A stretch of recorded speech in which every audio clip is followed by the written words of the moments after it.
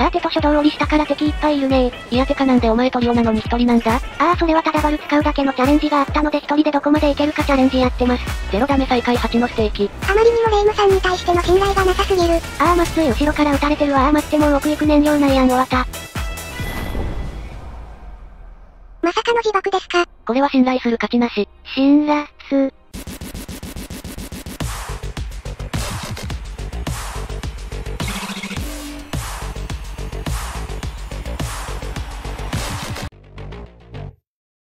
ということで皆さんこんにちはレイムです。マリサです。サトリです。今回はコンスプリットで大幅強化されたバルキリーを使って開幕ランクをしていきますよ。隣のランドマークにキャッシュがあったので移動してきました。あれ？なんかここにパスいるんだけどしかも孤立っぽくね？まあおそらく普通に漁ってたかキャッシュ取りに行ってたんでしょうね。かわいそうではあるけどとはいえこれは美味しいキルコにするしかない卒活殺。活殺中ったこれ。いやそんなこと言ってる間に仲間が寄ってきてますよ油断しないでください。あ、本当だ思ったより近距離いたのねアップねこれでワンピッチ取られてたら危なかったけど大丈夫だったからこれは 2V3 数の暴力でいいな。なんなら味方さんがもう一枚やってくれましたね。味方左いるから私は右から攻めて勝ちと。野良にしてはかなり綺麗に勝てましたね。お、あそこにも敵いるやんもう撃っちゃえ。まあまあ野良だと性能とかもできないですしね。いやーでもこっからは撃てないなあの建物の上行ってみましょうかねいやーバルはやっぱりジェッパですぐ上行けるのがいいねなんかここに敵いるけどこれは別かあーそんなのどうでもいいぐらいろいや全然どうでもよくないんですけど。もうそのまま突りそうな勢いだったな。そうあいつムーっちゃろうだったのにないいもんこのモヤモヤはあのバルで晴らすもん飛ばってみていき。え待ってマジでやったんだがカクカクカクカクカクカクカクカクカクカクカクカクカクカクカク本日2度目の格殺中出勤。運命運命ちょうど持ってるの取り手だったから結構チクチクだけでも楽しいな。じゃあそんなチクチクしてる間だから聞くんだが、バルが強化されたと言ってもどんな強化がされたんだ？あーそれ聞いちゃいますか。もうやーやっばいっすよ。ああそんなやっばいんだ。私はそのやばいの内容が聞きたいんだが、よーし悟り頼んだええー、私ですか？いや絶対知らんやんお前も。いや違う違う知ってるんだけどチクチクするのに集中したいのよ黙れいや知らないよりも立ち悪いんですけど。まあまあ別に説明しない理由があるわけでもないので私がしますよ。じゃあパッチノートを見ながら話していきます。パッシブの強化、ジェットパックの UI に燃料補給までの時間タイマーを追加。まあこれは強化というより便利になったっていうイメージですね。まあでもかなり嬉しいアップデではあるじゃあここからが本番です。バルキリーがリリースされた時に似たジェットパックのハンドリングに変更されました。まあ本当に簡単に言うとよりくねくねするようになったってことですね。そこだけ聞くとふざけてるようにしか聞こえないけどな。でもこれ相当やばいんだよね被弾を抑えながら上に行けたりシンプルに戦闘中や移動中の弾よけにも使えたりするんだよねさらにそのパッシブと相性のいいマスチフが今強いのも追い風ですがまだまだ強化は終わりません。クラスの変更、なんとバルキリーがスカーミッシャークラスからリコンクラスに変更されました。まあスカーミッシャー自体がクソ雑魚だからどこのクラスに行ってもかなりの強化なんだけどリコンっていうかなり強いクラスに変更されたわねさすがにコントローラーの方が相性良さそうなイメージはあるが、想像以上にリコンも相性良さそうだよな。まあシンプルビーコン読める位置なら空いてる場所に飛んで入るっていう強いムーブが一人で完結するってことだからねあとこの後紹介する機能もかなりいいじゃあそんな霊夢さんが気に入っている強化を紹介しましょう。ジェットパック中に Threat Vision が利用可能になり足が地面やジップラインにつくまで有効となる。これは動画持ってきた方がわかりやすいですかね。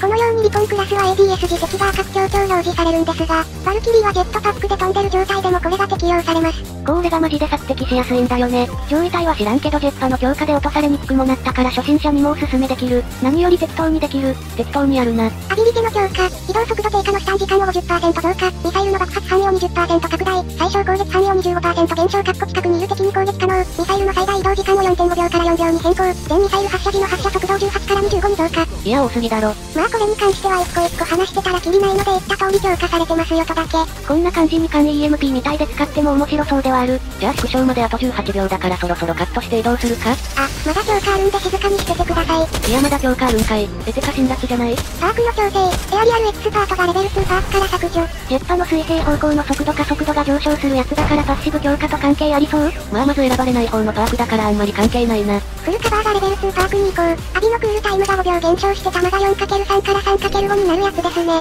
まあこれも選ばれなさそう。なんならフルタンクっていう燃料25%増加燃料補給50%タンクのパークがあって強化前それとの択だったんだけど私はフルタンクを選んでました。その場合ウルトコード15%上昇を上回るわけないやん。まあでもヒーローは遅れてやってくる最後にすごい強化があります。あ、その言い回し全然おもんないで使いどころ悪いわ。誰なんですかあなたは、このままだとレベル3パークが1つしかないですよね。ということでそこに新たなパークが追加されます。アイズ・イン・ザ・スカイ。どういうパークかというと、ウルトのスキャン範囲が40メートル拡大され壁越しにスキャンできるようになります。おーなるほどバルでよくあるいないと思ってやりたらいたみたいなのがなくなるんだな。どうしても建物内見えないと飛んでから空いてる位置入るのは怖かったけど今回の強化でそれも割と強くなりそうだね。まあ詳しくはこの後ウルト使うと思うのでその時見ていただければ、これで強化内容は以上ですかね。はいとちょうど戦闘が一段落したのでアンチ移動していきます。あ、これウルトではないですけど飛ぶんだったらパークのやつ見れるんじゃないですか？おー本当に壁越しに映ってるな。これならバル一人で飛んで殺敵とかも強そうだね。いやでもそんなこと言ってる暇あるんですか？あなたたちの移動経路ですよそこ。おーん。ま、まあ回ればいいだけですよし。味方さんも言ってますよ。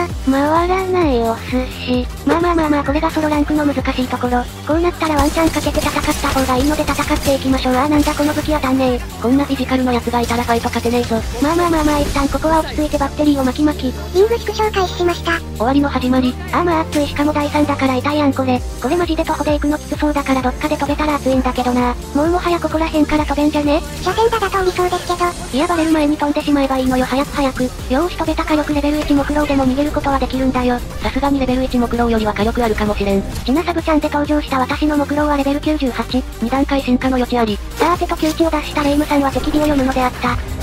どうやらまだ窮地にいたみたいです。いやいや大丈夫大丈夫ウルトで近くにいないかどうかは分かってるから。嫌だからといって命がけでビーコン読むなし。はいと無事起こしてもらって立て直しました。おっとなんか人下いてる敵がいますねあ、なんか手前にもいる63。なんなら上のやつにも63今日なんか取り手調子いいな。これで調子いいって言ってる時点でいつもどれだけひどいエイムかがわかりますね。黙れよお前マジで。まあまあ味方さん移動しそうなんでうちやめてついていきましょうかね終盤ポジ取る意識高い味方は当たり。はいと無事チャンピオンポジ取れたので周りの敵をチクチクしてます。しかもここにネメシスまであったからこれは神にチャンピオン取れと言われてるに違いない。とりあえずあと124ダメ稼いで赤アーマーにしときたい。でもそれやるならどちらかといえば取り手の方がいいんじゃないか？いやいや私のネメを信じろよ。いやでもたまねえな130発は気をつけとかないとなくなる。いやそれなら余計に取り手使えよ。よっし赤アーマー残り118足りる足りるきっと足りる。願望定期。いやーこれ本当は上守りたいけど挟まれてる形になってて無理なんだよな。逆に言えば敵は登れさえすれば屋上守れるってことだから少しでも圧かけとかないと。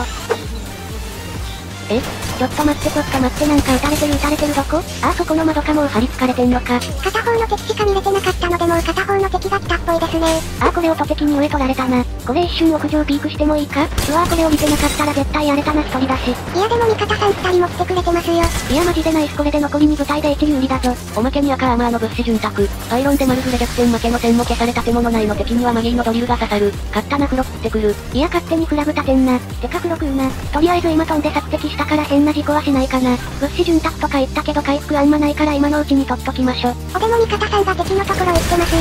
オーケーオーケーそれなら私も行くしかない。とか言ったけど一人は上いた方がいいか？いやでもいいや私も降りて戦おう。優柔不断定期。うーんなんか顔きすぎてわかんねえ。離婚の悪いところはこの強調表示で逆に見えづらくなるところなんだよね。どうやら今撃ってたのはダウンだったっぽいですね。これさすがにこのアンチの狭さだと触れ避けれないだろありったけの触れをくらいな。えなんか口調変わりました？いやいちいち触れないでもろて。あーミラージュどれかわかんねえこれじゃないのかよ。ここは上にアーマースワップあるの確認済みだから冷静に取りに行こうこれもバルじゃなかったら時間かかるから無理なんですよ。あまりにも露骨な強み紹介。さあここでヒーローは遅れてやってくるラストアタックは私だ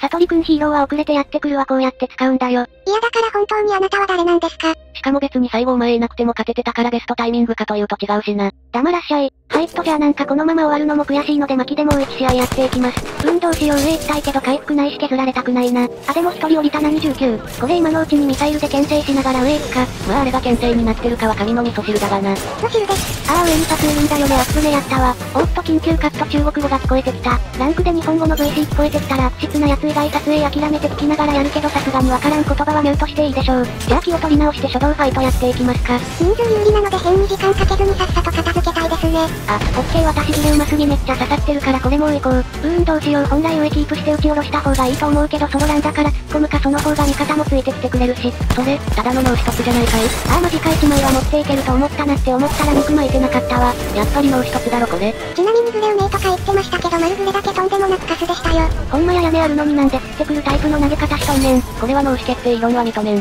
ー、あの後おそらく英語が聞こえてきてどちらもミュートすることになりました。まさかの3カ国語パーティー。どうやら正面にファイト終わりの敵がいるっぽいですね。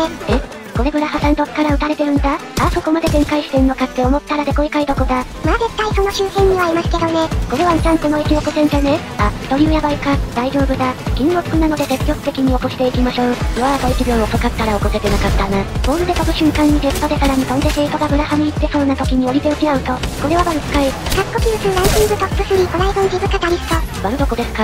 やってゾンじゃないからいつもみたいなキャラコンで帰れねえアップね。いややっぱゾン使いやん。ていうかあれぐらい全キャラでやってください。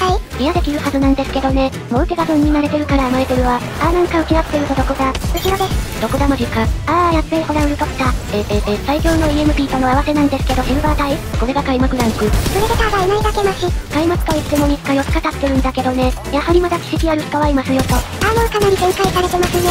慌てとかもあったしクルパの予感。まあ一旦お互い割ったから巻き巻きタイムでしょうさすがにこれは巻き終わったら引きかな。はいっと一旦タケノコまで引いてきました。おなんか揃えるくね？なんかアサルトボックスと並んでて二人みたいだけど一人だな。これはでもどうですか？ね行く間にスキャン消えてどこかわからなくなりそうですが。ああそれに関しては大丈夫よ。100歩ーいソロの敵はどこじゃーい。ウルト使うのマジですか？これはと、ロール。いやいやまあ次使う時にはたまるでしょ知らんけど。知らんけど。はいはいはいはいそこにいるんだねキルコちゃん。もう君は逃げられないよかっこパスレブは含まないものとする。環境キャラなんですけど。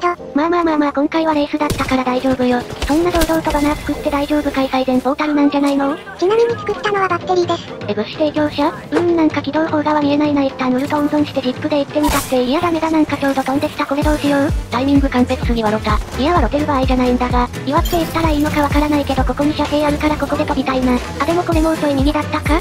射線通ってませんように。自称バル使いさん。あ、バル使い嘘です。ゾンメインです。いや訂正したやん。ゾンも上手くないですがね。あ、そのナイフ鋭すぎる。プロが研いだ後やねそれ。いや言ってる。場合か。うお本当だマギーガチワンじゃん。うーん屋上が強そうだけど今行ったら事故りそうで怖いから一旦奥の家で巻いてからかなんとか入れましたが本当にギリギリでしたね。あー上行こうと思ったけど撃てそうな敵が、牽制という理由で撃つか。終わってはいるか。え？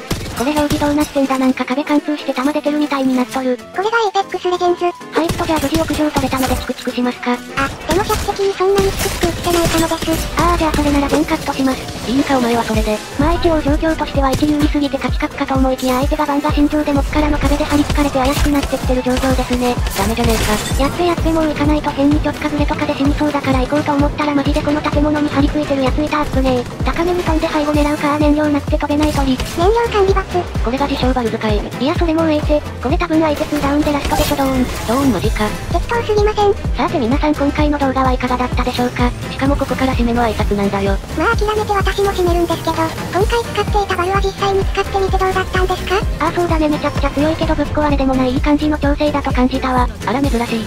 珍しいよな。ランクに関してはリコンとサポ最強だからそれもいいね。確かにリコンなのはランクでも環境下は置いといてかなり増えてきそうですね。それでいて競技でもかなり増えていると。そんな今熱いバルキリー、ぜひとも皆さんも使ってみてください。それでは、